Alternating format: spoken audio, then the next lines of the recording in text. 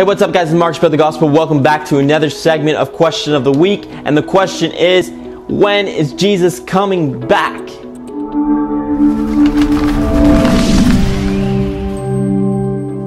So, the answer to this question is Jesus coming back? I don't have it. If I did have it, I'll be false. You see, the Bible says that no one knows the day or time. The Bible says that no one knows, not even the angels, but only God Himself. And I'll pull up the scripture in a second. But if there's any pastors out there that are saying, oh, Jesus is coming on this day or this hour, those pastors are false and you need to get away from them. So basically is what I'm trying to tell you is nobody knows the day or time or hour.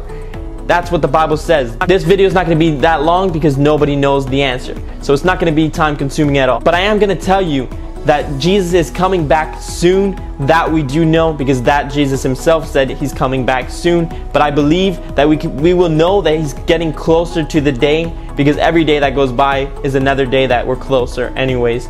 And another day that goes by we can see the birth pains that the Bible talks about. He says that there are things in this world that there's going to be signs for us to know and get ready for him to come back. So you're supposed to be just making the way for Jesus to come back, like preparing the way for him to come back, just like John the Baptist prepared the way for Jesus to come.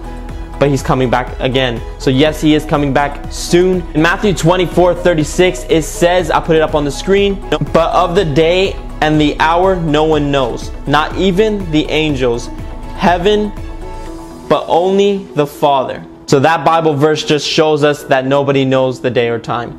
But He is coming back soon, so get ready, be prepared. Jesus didn't just die for us to get into heaven, but He died to get heaven into us. So Jesus is not coming back to rescue us from this world. See, Jesus died to get heaven inside of you.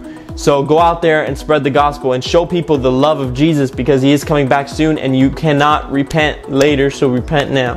Take care. Love you guys. Spread the gospel.